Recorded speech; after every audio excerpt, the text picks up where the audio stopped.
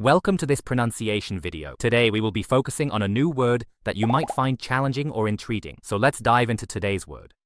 并立 which means Parallel in Japanese. let's say it all together. 并立并立并立 one more time. 并立